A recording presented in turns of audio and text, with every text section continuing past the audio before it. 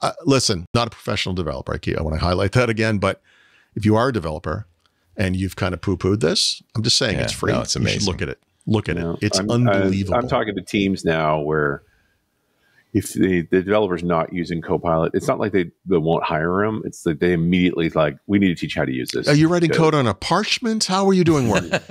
You know, like I I, see you brought your It's chisel. it's Like, it's fascinating to me because it's slowly spreading throughout all our shows. Steve Gibson had the same experience with assembly revelation.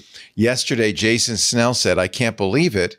Uh, but uh, I can't. I can't remember what model he was using. I think ChatGPT knows Yeah, Apple Chat- uh, script. Chat- yeah. So Uh, Apple Cla- script, Claude is, is, good at this too. Anthropic Claude. I one of the first Claude does very well. Yeah. The very first thing I ever did was I had written uh, the C sharp class for this coming thing I'm doing, and I published or I wrote about it. And then that day they announced an update to Claude, and they, they said specifically like it's better for programming. I'm like, oh, let me give it a prompt and say I want to I want to make this class. What does it look like? It made exactly. It was Right. almost letter. It was almost identical, and that was good for me because it kind of verified that I had written the right thing. Unless Right. we both hallucinated somehow. You're looking Um, for validation from software. You Yeah. already in trouble. Uh, but you know, but I mean, to be the skeptic, one of the reasons this works so well is because Mm-hmm. it has a massive database of code, and The code is in the world. extraordinarily repetitive.